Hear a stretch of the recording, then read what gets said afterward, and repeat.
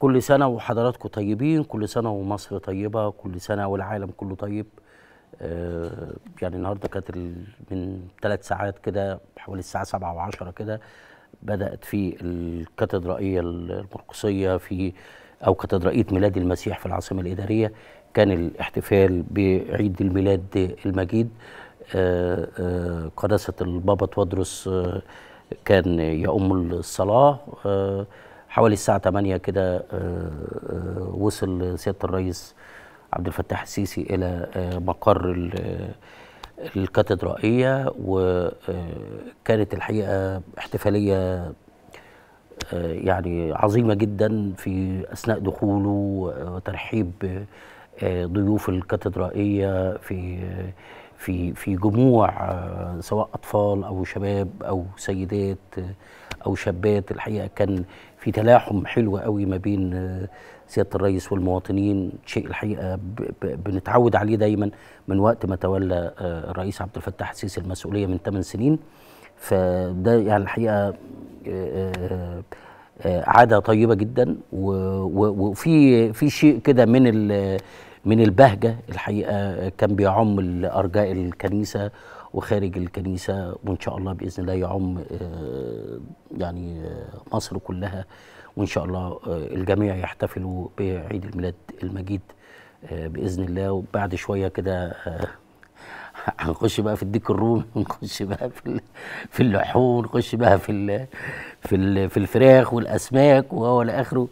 ربنا يا رب يعزكم ويطرح البركة فيكم ويزيدكم خير وصحة وسعادة.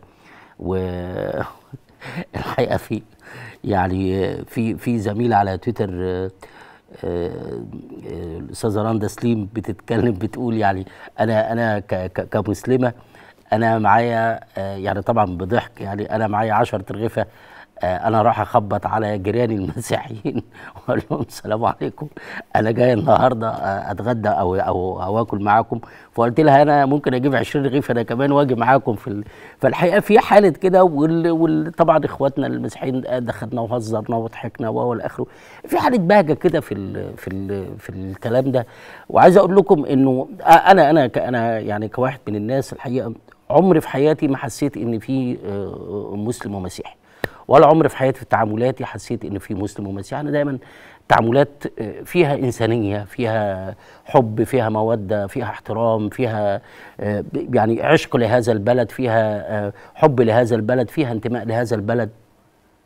فكرة العلاقة ما بين المسلمين والمسيحيين في مصر هنا يعني ممتده امتداد رهيب واذا كانت في حاله من هنا أو حاله من هنا فمعلش نسد عليها الباب لأنه الباب مفتوح على مصراعيه لكل الحب وبكل الحب.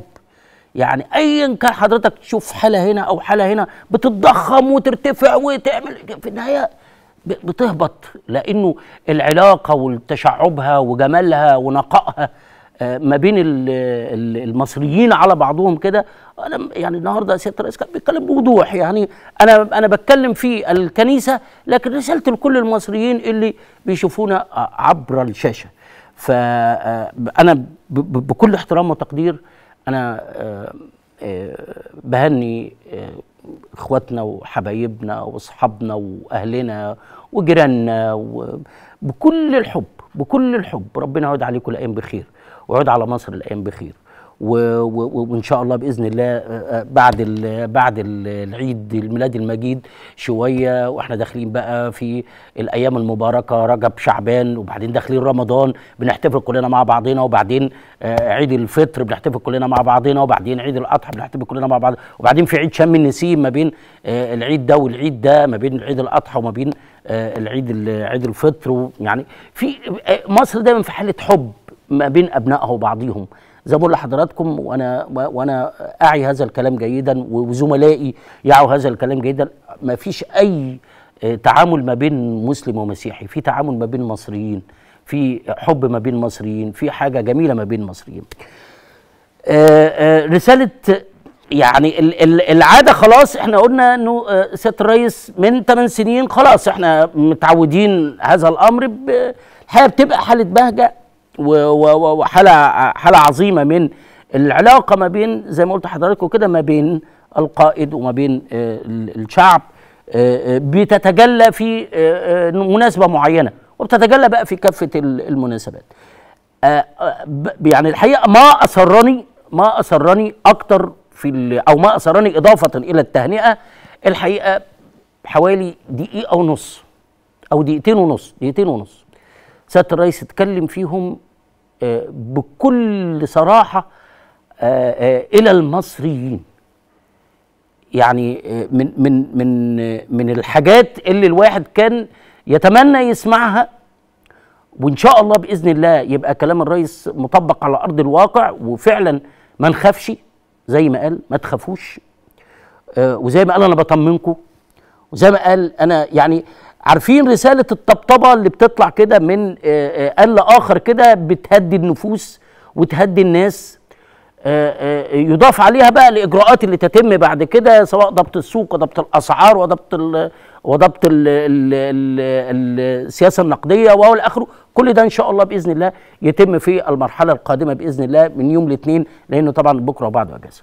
أو أو يوم الأحد بيبقى إجازة. بكره يعني ناس كتير بتاخد أجازات يعني. لكن في الإطار العام الرسالة آه، الأولى مهمة تهنئة المصريين بالعيد بعيد القيامه المجيد.